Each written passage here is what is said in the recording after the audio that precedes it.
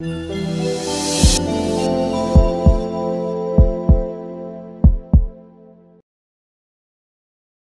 Lisa, I've heard about the life saving capabilities of stem cells. My friend recently told me that I should preserve my baby's umbilical cord stem cells. Can you tell me more about it? You should know that the umbilical cord is the baby's life support before birth. For over 25 years, it has been a lifesaver after birth also. The umbilical cord is a rich source of stem cells, which, as you know, have the superpowers to both build and heal our body. Compared to other sources of stem cells, the stem cells in the umbilical cord are the most youthful and also are the easiest to obtain. Hang on, are you telling me the stem cells in my baby's umbilical cord are better for treatment?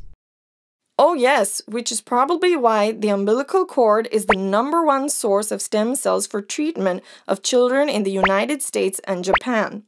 Another reason for its popularity is that they have a higher chance of finding a match within siblings, 40%, as compared to stem cells from other sources, only 25%.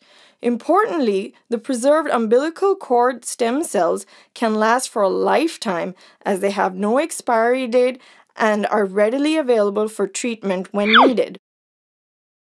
Wow, I never knew that. I'm now actively considering acquiring the superpower of stem cells for my baby. Remember, these lifesavers in your baby's umbilical cord can only be collected within 10 minutes of childbirth, and hence, should you choose to make use of this once in a lifetime opportunity, you should talk to the doctor and plan well ahead of the due date. Thanks for telling me. Looks like even my child wants it.